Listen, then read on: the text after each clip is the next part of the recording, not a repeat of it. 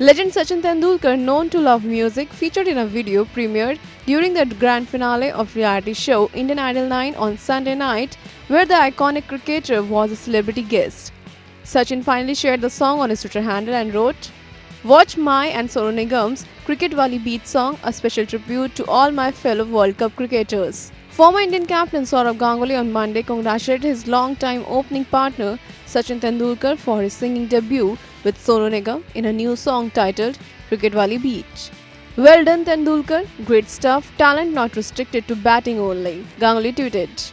About Sachin's singing debut, Sonu had told IANS, He's a very good singer. We didn't use pitch corrector on his voice as he was singing in the right sur and despite being the shy person, that he is, he got extremely comfortable the moment I kind of increased the masti quotient while we were shooting the video. The song is released on entirely on social media and available on Tendulkar's new app which will give fans access to all the information on the legend. IANS report.